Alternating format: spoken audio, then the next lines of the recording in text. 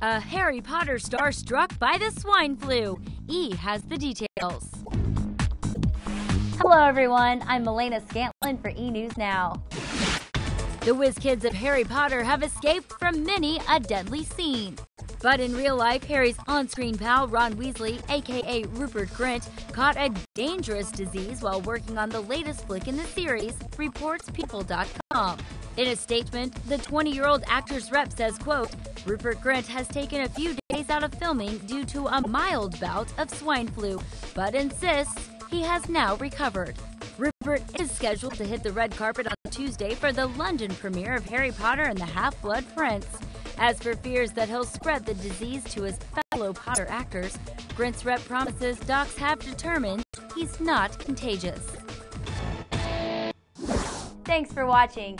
E News Now is your online hookup to all things Hollywood.